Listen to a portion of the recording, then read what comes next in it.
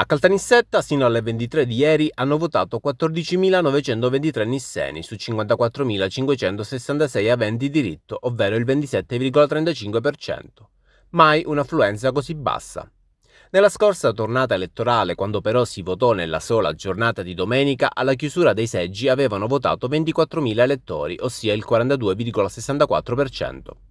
Oggi, lunedì 24, sarà ancora possibile votare fino alle 15. Poi seguirà lo spoglio delle schede elettorali.